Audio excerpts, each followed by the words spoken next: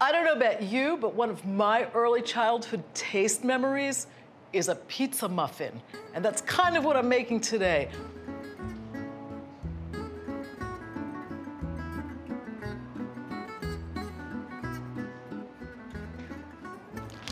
I'm using New York style Grecian Delight six inch round pita breads for this recipe.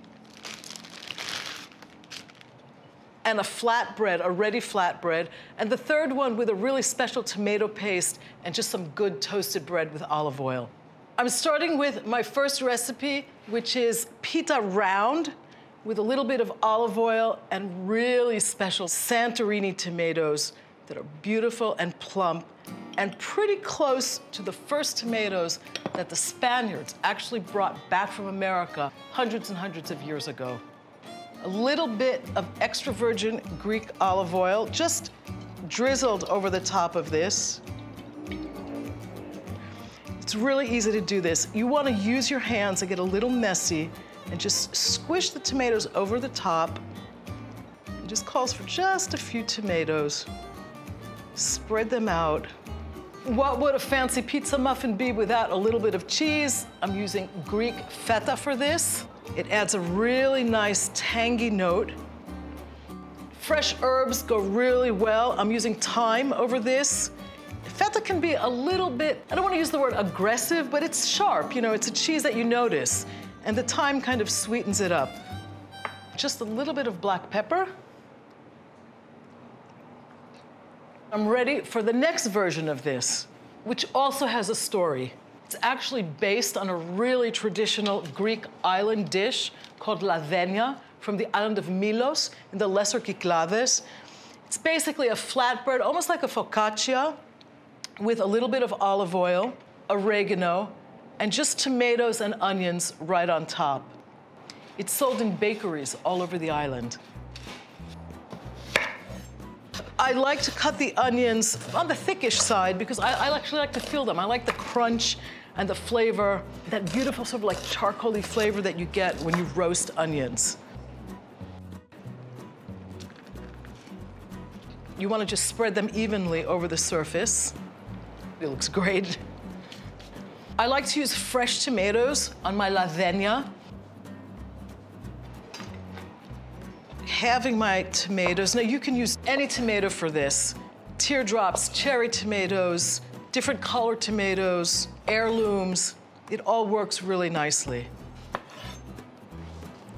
These are also going right over the top. A little bit of Greek oregano. Beautiful. Sea salt extra virgin olive oil right over the top. Little bit on this too, so it doesn't feel lonely. And I am going to get these in the oven under the broiler for about seven to 10 minutes. You wanna just keep an eye on them so they don't burn. For my third and final variation, I'm making something from the island of Santorini called bertes, which basically means tomato paste. It's a spread mixed together with capers, Santorini tomato paste, a little bit of olive oil, and just spread over some grilled bread. Get a little bit of olive oil. It's really nice to use a good quality sourdough for this, something that adds another flavor dimension. Just get a little olive oil in my grill pan. Now this bertesme capari is the kind of thing you might find in a cafe in Ia, overlooking that amazing Santorini sunset, served with a glass of assyrtiko. It's all now part of the island's folklore. And now the topping. I'm using this double concentrated Santorini tomato paste. The tomatoes that grow in that volcanic soil have a very unique almost, there's almost a natural saltiness to them because there's so many minerals in the soil that they, they're really flavorful. Let me see what's going on with my bread here. Time to turn it over. You can obviously do this on a barbecue or under the broiler. I'm adding a few capers. And I'm just gonna get these chopped up so that they're a little bit easier to mix into the tomato paste. The brininess in the capers and that super sweet intensity and the tomato paste go really well together. Just a rough chop. You wanna feel the capers.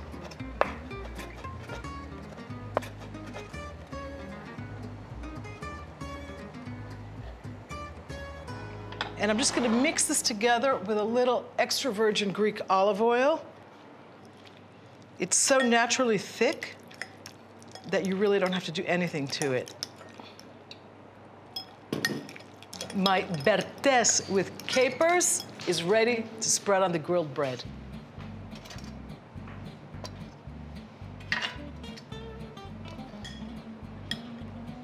This is really simple.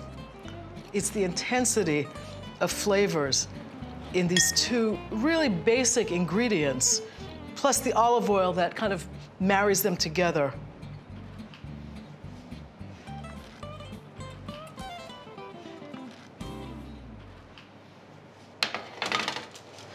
smell great. Bread, cheese, tomatoes, herbs. The simple traditions of the Greek islands are a far cry from the pizza muffins of my youth. Topping is nice and juicy.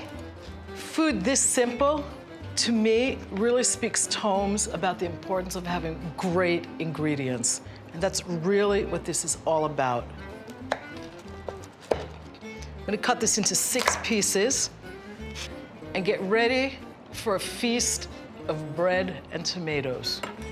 Start with my Bertes first, just a little piece. See how that tastes. Mm.